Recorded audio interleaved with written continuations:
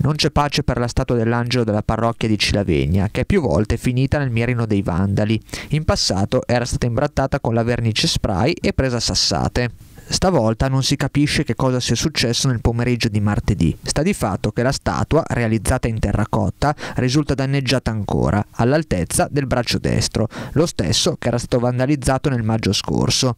Stando a quanto si apprende dalle ricostruzioni, potrebbe però non esserci dietro la bravata di qualche incivile, per nulla rispettoso dei luoghi e degli oggetti sacri, ma sembrerebbe che, probabilmente anche a causa del freddo che si è registrato negli ultimi giorni, si sia verificato un distacco tra alcune parti della statua e alcuni pezzi del braccio destro siano così caduti per terra. Si possono infatti notare alcuni cocci che sono stati raccolti in un secchio. Toccherà quindi a qualche artigiano volenteroso riattaccare i pezzi caduti, ma nel frattempo prevale il giallo su quanto sia successo martedì alla statua dell'angelo della parrocchia di Cilavegna. Il monumento si trova in una zona non molto frequentata, alle spalle della chiesa e della casa parrocchiale, in un vicolo che porta verso Largo Marconi, la strada del municipio di Cilavegna.